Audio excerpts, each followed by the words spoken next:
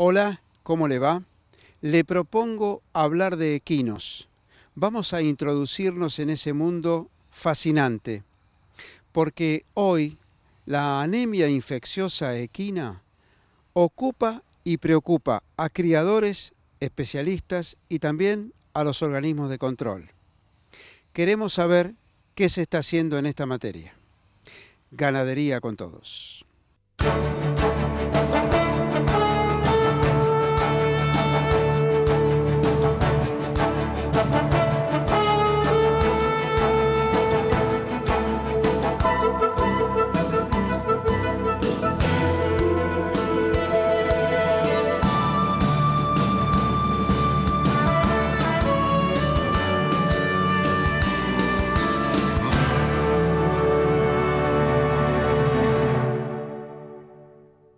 Vamos a charlar un poco sobre anemia infecciosa equina. Empecemos por el principio, Alfredo. Describime la enfermedad. Bueno, eh, la anemia infecciosa equina es una enfermedad infecciosa, eh, como su nombre lo indica, que eh, afecta a todos los caballos, mulares, asnos y todos los solípedos. es una enfermedad que es producida por un virus que eh, es de la familia de los virus similares a los del HIV. Es una enfermedad que no tiene cura, no tiene posibilidades de vacunación y, este, eh, es anemizante, febril y mm, avanza hasta terminar con la muerte del, del caballo, del animal. La anemia infecciosa equina hemos recibido información sobre esta enfermedad. ¿Qué efectos encontrás vos justamente que genera en la actividad cotidiana? Bueno, en, el área en donde yo desarrollo, que es toda la parte de crianza y reproducción equina en los aras, eh, es, está muy controlado, eh, pero es un terror porque si bien nosotros estamos muy controlados, tenemos alrededor de nuestros establecimientos caballos sueltos, caballos en la vía pública. Este, ha habido brotes en, lugares cercanos, este, entonces estamos muy, siempre estuvimos muy preocupados y vemos que eh, esto no retrocede, al contrario, avanza. La zona siempre candente ha sido el norte y la Mesopotamia y ahora en la provincia de Buenos Aires vemos que este, hay que incentivar el control porque ha habido algunos brotes y bueno, puede afectar mucho la economía de, lo que hacemos nosotros. Esto es importante que lo marques, tu actividad se concentra, como decís, en la eh, situación generada a partir del entretenimiento, el deporte, la recreación, caballos que además tienen gran valor económico. Sí, eh, en general gran valor económico y que casi conviven con caballos eh, de generales de, digamos de diversión, de centros tradicionalistas, de, lugares que por ahí son eh, menos controlados, salvo algunas excepciones.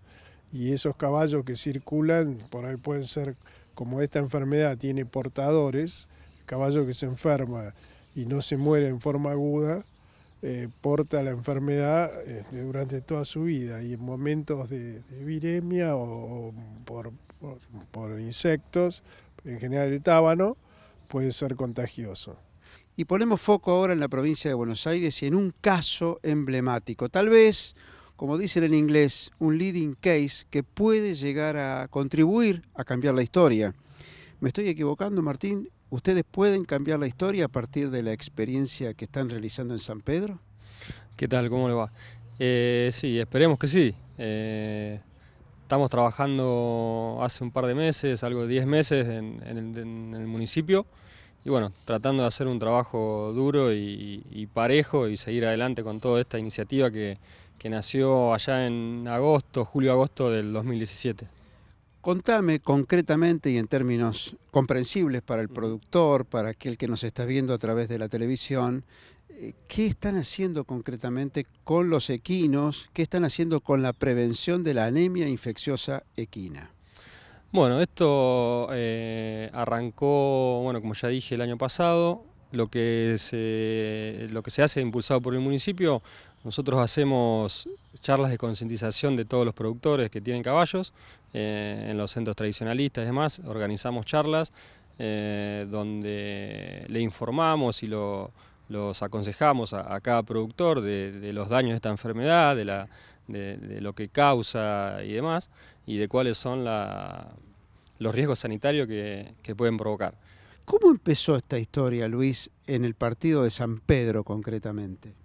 Bueno, esta historia empieza desde la dirección de tránsito. Nosotros teníamos una problemática muy importante que nos causaba muchos eh, incidentes de tránsito, en este caso, con los caballos sueltos. Luego de un accidente, un incidente de tránsito, eh, los caballos no estaban identificados, mm, no tenían controles sanitarios.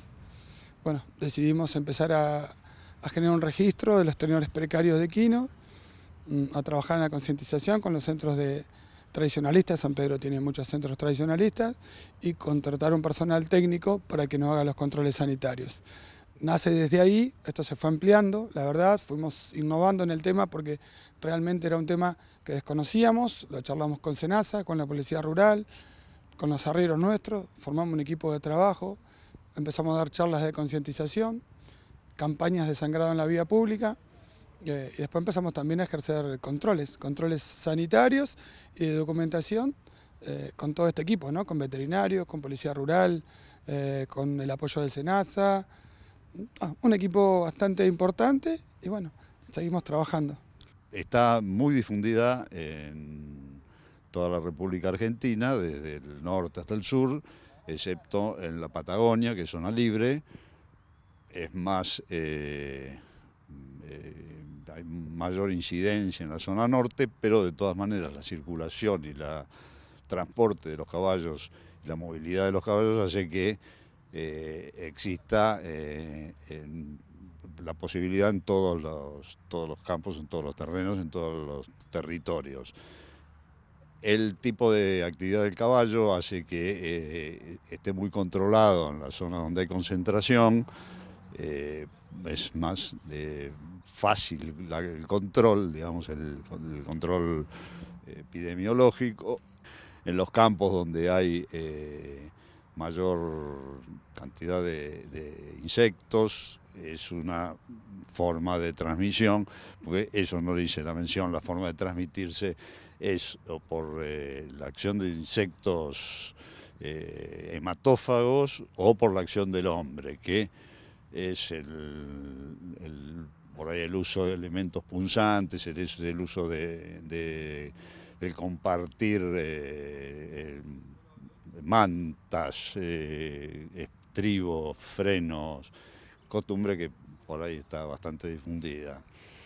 Entonces esas dos formas son las que hacen que la, transmisión sea bastante frecuente. Jorge Basalo, este es un problema nacional. Es un problema, es un problema nacional, es una enfermedad terminal, como dijiste vos, una enfermedad que termina con la vida del caballo, no hay vacuna, así que eh, va a sacrificio el animal positivo. Así que creo que nos se impone una política de una acción de docencia, una, una acción de comunicación y de fiscalización. El control es clave en esto.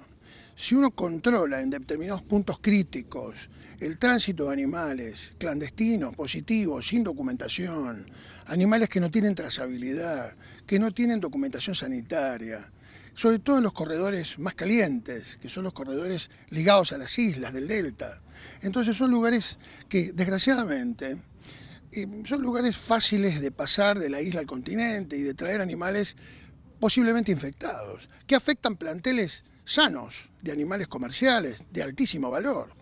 La cuantificación del daño es importante. Entonces, es preocupante este, este tema y, todos los profesionales estamos muy preocupados con eso, hablamos constantemente con las autoridades y el modelo de San Pedro fue un modelo, la verdad, renovador, un modelo revolucionario, donde dos o tres personas lograron erradicar una importante cantidad de positivos. Así que es muy interesante el modelo y un modelo de un solo partido con la voluntad política de un intendente. Bye.